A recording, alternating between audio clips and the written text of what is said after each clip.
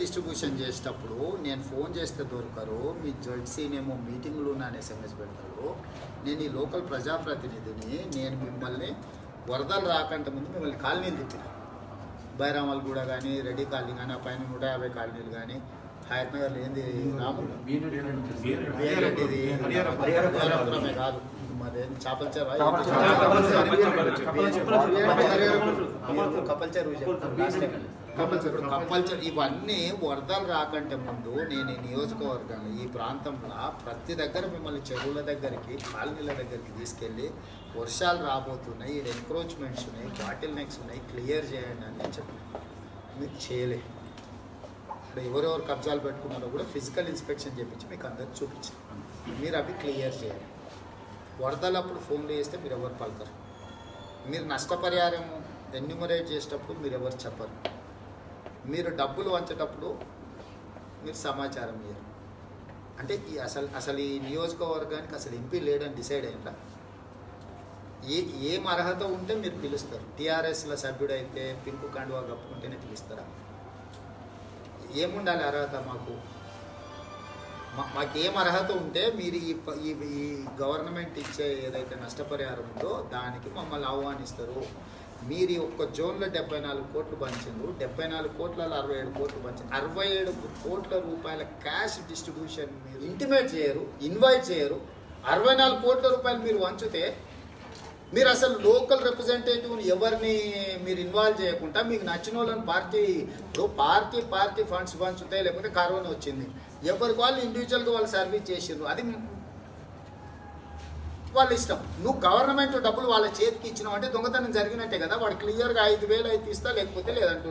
Ninety percent ముందర మీరు ఇచ్చుకుంటూ వేరే వెనకాల ఐదు ఐదు వేలు కలెక్షన్ చేసుకుంటూ వచ్చారు ఇప్పుడు మూడు వందల ఎనభై కోట్లు యావరేజ్గా గ్రేటర్ హైదరాబాద్లో డిస్ట్రిబ్యూషన్ జరిగితే స్ట్రైట్ ఫిఫ్టీ పర్సెంట్ ఐదు వేల లాగా వెనకాల మనుషులు ముందల మనుషులు పంచుకుంటూ పోతే వెనకాల ఐదు వేలు వసూలు చేసుకుంటూ వచ్చి నూట ఎనభై కో- దాదాపుగా మూడు వందల ఎనభై అంటే నూట యాభై నూట తొంభై కోట్ల ఫ్రాడ్ సింపుల్గా క్యాష్ జేబులలో వేసుకోరు కొన్ని దగ్గరలో అసలు ఉత్తగా ఎంట్రీలు చేసేసి ఆధార్ కార్డు జిరాక్స్ మ్యానిపులేట్ చేసి పంచారు. ఒకటే ఇంట్లో నలుగురికి ఇచ్చారు. మదర్కు ఫాదర్కు కొడుక్కి అన్నదమ్ములకు నలుగురికి ఏమన్నా?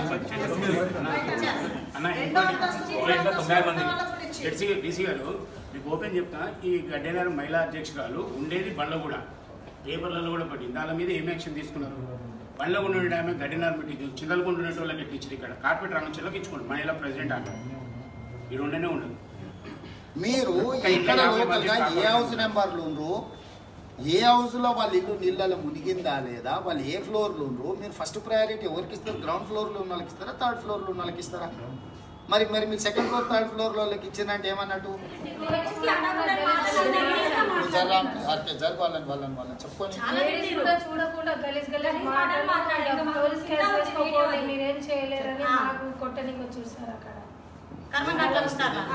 నోట్ చేసుకోండి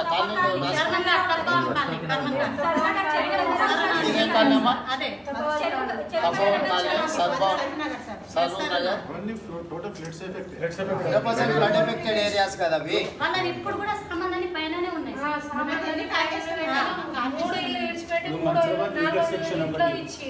కంప్లీట్ ఇవ్వలేదు. బాలరెడ్డి నగర్లు ఇచ్చారు. బాలరెడ్డి నగర్ నీళ్ళు వస్తాయా సార్?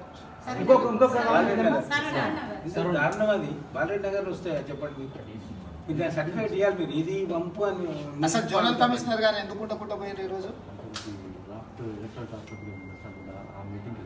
ఆల్రెడీ ఎన్నికలు వాయిదా ఇస్తున్నామని ఇవాళ రాసిరు కదా. నేను నిన్న నిన్న అపాయింట్మెంట్ తీసుకున్నా.